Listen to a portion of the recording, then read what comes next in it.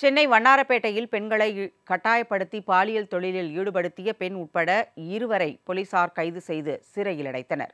பழைய வண்ணாரப்பேட்டை அப்பாசாமி தெருவில் பாலியல் தொழில் நடைபெறுவதாக போலீசாருக்கு தகவல் கிடைத்தது.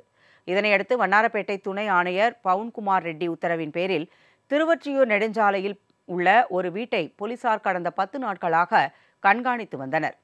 இந்நிலையில் அந்த வீட்டில் திடீரென ஆய்வு நடத்திய போலீசார் சதீஷ் சரளா ஆகிய இருவரை கைது செய்தனர்.